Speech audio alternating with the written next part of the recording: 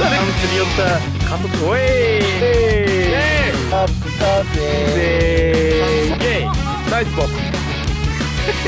れだ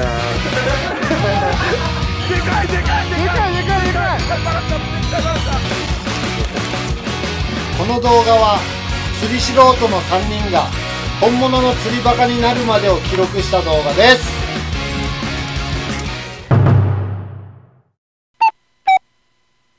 開会しようか。開会する？先生今日衛星2日目第1投で釣りたいと思います。はいお願いしまます。釣れた？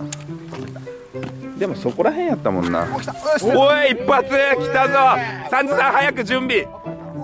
投げた瞬間パティン二投目も釣りたいと思います。二投目お願いします結構あそこら辺にやったもんね。一番角くらい。れた？はい来たおい来た二投目。来た来た来た。来た。あ徳ちゃんも来た。ここくお指釣れたよ。はい行くぞ入荷行くぞ。入荷。おおおおお来た来た来た。来た来た。来た来た。いろんなとこで来る。まあまあでかい。えマジ？マジ？あいつでかい。あ来た来た。俺も来た。来た来た来たまあまあでかい。い やちっちゃい。ほら。うわでかいでかい。徳ちゃん徳ちゃん。徳ちゃんでかいでかい。おなんでなあ俺もぐらい。うわでかいでかいでかい。でかいでかいでかい。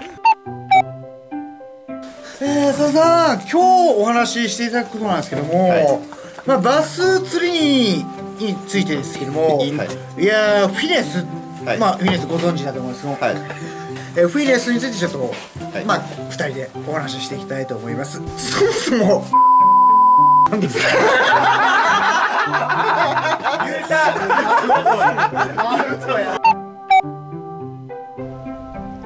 おい。おおユーピー。え大きいんじゃない？